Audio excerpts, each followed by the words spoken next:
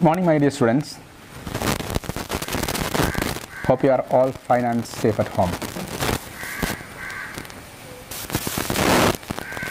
So, we are going to continue our lesson. We are now in the second unit. Going to start our second unit. Okay? It is telling about stories. So,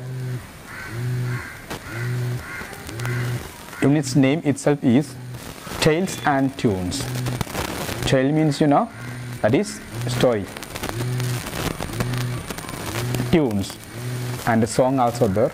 So here we are going to discuss some interesting stories and uh, how to write stories, how to write a perfect story. So that steps also mentioned here. So first of all, let us discuss the introductory part of this unit. March 20 is the World Storytelling Day. Ah, do you know? There is a special day for storytelling.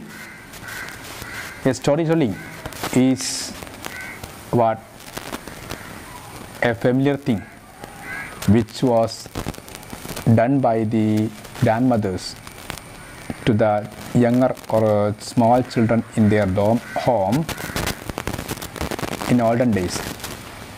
Now I think there is no such storytelling. It is decreasing. Almost all are watching animated stories in the television or mobile phone. And uh, most of the grandmothers they don't know stories. Sometimes some grandmothers may be there at your home. What is your opinion? Is there any grandmother who is telling stories to you in your home or nearby your home? I know you like stories. No doubt about that all children at any age they like stories. So if there is a person to come and uh, tell story you will sit and listen it very carefully. No doubt about that. Okay. So people in our world main organizations and they encourage storytelling and for that purpose they have selected a particular day for as storytelling day and that is what? March 20 stories have come down to us from our elders and books. So how do the stories come to us? Ah yes our grandmothers. They may tell stories to us or we can read books.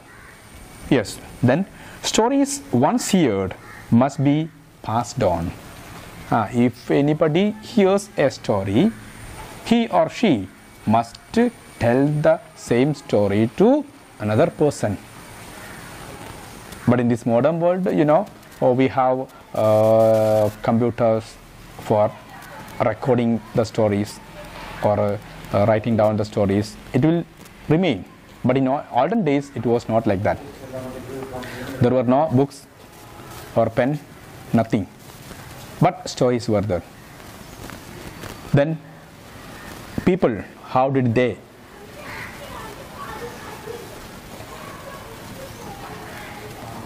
without writing, without any uh, videos, how did they save these all stories? Ah, yes, ah, these grandmothers or uh, grandfathers or people who liked stories, they hear the stories and they passed on to the next generation. And uh, that next generation passed to the next generation. Like that. So if we don't the stories and the art of storytelling will slowly disappear from the earth. If we do not tell the stories to the next generation what will happen? Uh, that will uh, the art of storytelling will slowly disappear so it should not be. So here some questions are there. Do you like to listen to stories? Uh, do you like? Uh, yes. What kind of stories would you like to listen? Which type of stories do you like? Ah, many types of stories are there. Uh, uh, moral stories are there. Uh, in some stories uh, animals will be the main characters and uh, uh, people or kings. Stories related with the kings are there. Many are there. Then who tells you stories? Who tells you? Ah, in some houses grandmothers may be there. Now we can say who tells stories means your answer may be mobile phone or television. No? But it is not we have to hear it directly from people. Okay. So another question is also the do you tell stories? Yes small children will be there at your home. Do you tell stories to them? They will ask you ah, tell me a story tell me a story they will ask you. So if you know stories you can tell the stories. If you want to know the stories what do you want to do? Uh, you have to read books or you have to hear from uh, others. So whatever it may be uh, you have to get you should be able to say stories to others. Okay? So here there is a small uh, story. Let's read. Read what Vimal's grandmother has to tell him about stories. Here we are going to discuss about Vimal and his grandmother. Vimal who is Vimal? Vimal is a lucky boy. Why? Why is he a lucky boy? Because he has a grandmother who tells him lots of stories. Ah why do we call Vimal as a lucky boy? Why? Because he has a grandmother. Ah, who tells stories, different stories to whom? Vimal. That's why he is lucky. Every night at bedtime, there is a story for him.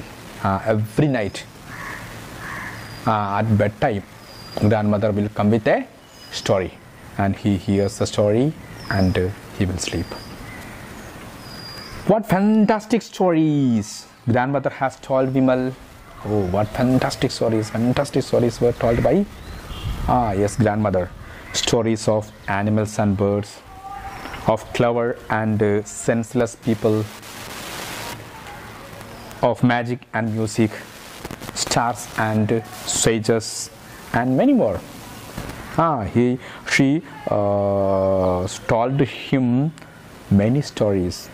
What were they? Ah, stories of animals, birds, clever and senseless senseless means foolish people then magic and music stories of magic and music. Then stories of stars and uh, sages. Ah older people sages. Then sages who prayed for a long time and uh, they will uh, they will also say stories good stories moral stories. So such many stories were told by whom? His grandmother. One day, Vimal asked his grandmother if stories grew on trees. Ah, one day Vimal asked one question. What is the question? Ah, where is the stories grow? Or from where do you get these stories? Ah, is it growing on a tree? She laughed. Ah, mangoes are growing. Mangoes are there on trees leaves will be there, but stories will not be there now. Then she laughed and said, No, not on trees. Then where do we get the stories from? Ah, then he has a doubt. Ah, from where do we get the stories? I got them from my grandmother. I, in turn, tell you. Vimal, remember to tell your friends these stories so that they can also enjoy them. Ah, then my grandmother said, Ah, I heard it from whom or I got it from whom? My grandmother. And in turn, I tell these stories to you. So you should say these stories to your friends. Then what? Ah, then the stories will be there here forever. That friends will say to their friends, and like that. But we must say, no, I don't want to tell them any of these stories. They are my stories, my treasure. I don't want to give them away. Ah, but was th- what was the reply of Vimal? What did he say? He said, What now? Ah, no, no, no. I won't tell these stories to anyone because they are my stories and they are my treasure. I will not share these stories with uh, any of my friends. Like that, who said? Vimal said. Then, what was the reply of grandmother? Don't be silly, my boy. Stories are meant to be told. Listen and tell. That is the law of the story kingdom. His grandmother said. Ah, that time, mother, grandmother, what did she say? Ah, she didn't encourage Vimal to keep the stories as his own. She said, No, no, no, it is not right. You should say the stories to whom? Ah, your friends. Why? Because there is a law in the story kingdom. What is the law in the story kingdom? That is, listen and tell. Listens to stories. Whoever tells te- tells you, and uh, after hearing it, you have to tell the stories to others, and that is what the condition or law in the story kingdom. So, in that way, Vimal's grandmother taught him not to keep the, those stories as his own. She told him to say the stories to others by saying that is what the laws of what that is what the main law in the story of kingdom. Okay, so that is what that small story. It is a, a small story which was appeared in the newspaper The Hindu. Okay, so uh, there is a question. What is your opinion about grandma's statement? So grandma made a comment here that what uh, there is a law in the story kingdom. You should listen story and you have to tell story. What is your opinion about that? Do you agree with it or not? Ah, we all will agree, no? Yes. So that you can write down there as your homework. Okay. Then another small one uh, story also there. Let's go to that. Stories go beyond the boundaries of time and space. Stories. Uh, we cannot say stories from Kerala or our own district Malappuram we will hear or from Kerala, India like that we cannot say stories what uh, go beyond what countries boundaries of boundaries of time and space. We hear stories from uh, thousand and uh, thou- 2000 3000 years ago. Such stories also we will hear. There is no a what time limit for that. Though they led us to wisdom so stories it's very important. Why? Because that lead us to what? Wisdom. Can you tell a story that you have that you have heard from your grandparents elders friends? The question i asked you. Can you say that story? Ah, if you know the story, you can say the story and you can send me. Okay. So here we are going to discuss about another story. Before going to that story, some questions are there. Have you heard of the famous storyteller Aesop? He was. Have you heard about Aesop? Aesop tales. Yes, he was a great, great Greek storyteller. At first, was he? He was a Greek slave who lived in 600 BC, before Christ. He lived. Ah, he he was a slave. Slave means you know, under a master's order he has to work, not a free man. Okay. Aesop did not, in fact, write the fables he told. He told many stories, but he did not write it down. They have been orally passed on because he lived in the BC 600. BC 600 means that that time there was no paper, nothing. So could you write down that all stories? No, he couldn't. So here, how did the stories told by Aesop still we get how do how, how did it happen you know uh, why because uh, his stories were told to the people and the same people uh, passed the same stories to whom? Next generation then next generation next generation. In that way it come to us. Okay. Then they still live in the minds of people. So aesop's tales still live in the minds of whom? People. So let's read one of aesop's fables. A small story is given. Let me read it. Okay then what is mean by fable? We are going to read a story. Means fable. Fable means a fable is a traditional short story that teaches a moral. Ah, it is a traditional story but it will teach a moral lesson. Especially one with animals as characters. In fables most probably the characters will be animals. Okay? So here one fable is there what is that story a rich voyager from athens was on a voyage with uh, two companions. Uh, who is the main character? A rich voyager from athens. He was on a voyage with whom? Voyage with uh, his companions. Companions means friends. He was uh, he was uh, going with his friends from athens. Athens means one of the important cities in where greek. In the course of their voyage voyage means uh, through ship uh, by using ship. If we travel means we will call it as a voyage.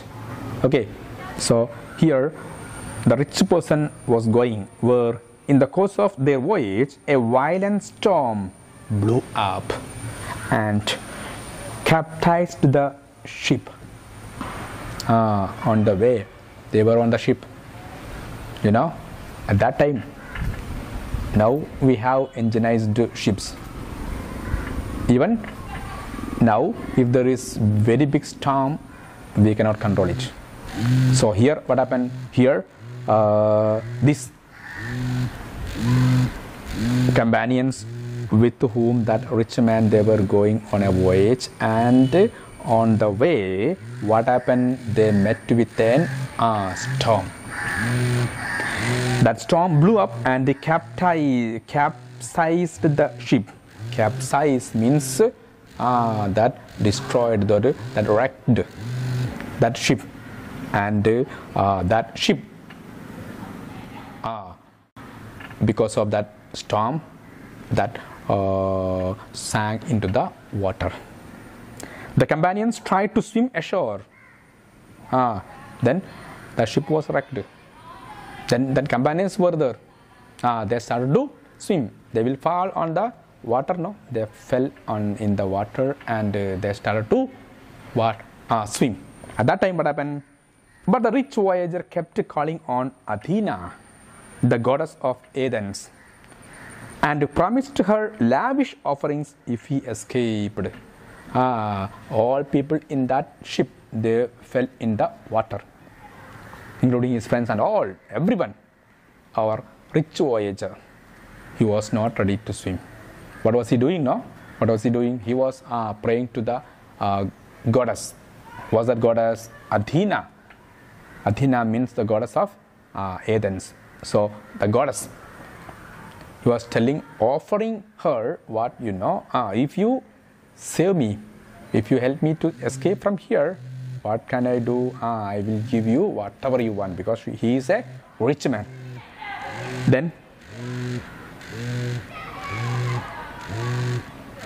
one of his work, shipwrecked companions, as he swam past, shouted to him. Ah, then others also heard it. Who also heard it? Ah, this companions also heard what ah, he was offering to God. Ah, Goddess Athena, please come and help me. I will give you whatever you want. I will give you money because I am a rich person, like that he was telling. Ah, but his companion said, What now? Don't leave it all to Athena. Use your arms as well. Ah, what was that comment made by his companion? No? Ah, don't leave it all to Athena. What? Ah, use your arms well as well. Ah, don't pray simply on pray to whom Athena, but what? Use your arms. Ah, means you swim. And then you can pray what? Uh, sometimes even if we swim means also there is no possibility to escape. So we have to work. And it should be successful. Or we he should uh, uh, save his life from from from that sea for that what is needed uh, what is needed means he has to uh, he has to swim. But without swimming he was standing there. Or uh, he was standing there water. So his companion said that is not correct. Okay? So that is very important thing. A moral lesson it is teaching you. What is that moral lesson? Ah, if you want to get the uh, blessings from god you have to work. Simply if you uh, sit and uh, if you uh, pray to god uh, god give me full mark in my english subject or all subjects. And without reading textbook you are praying means will you get that? No you will not get. Uh, you have to use your arms. Means you have to hard work. Then you can pray if i get uh, full mark. I want the help of god i want the help of not only my work hard work. I must need uh, the help or the uh, blessings from god. That is okay. Means 50 50 okay 50 percentage yours 50 percent god. Means if you pray uh, sometimes the questions will be very easy. In such a way you can expect. Otherwise if you sit simply and say uh, i want full mark in all subjects i will but you are not ready to do anything. What will happen yes. That is what the moral lesson taught in this story. Okay? So read this story very well and uh, you can write down the side question answers in this textbook in the i note down into the notebook and you can send me. Okay? Thank you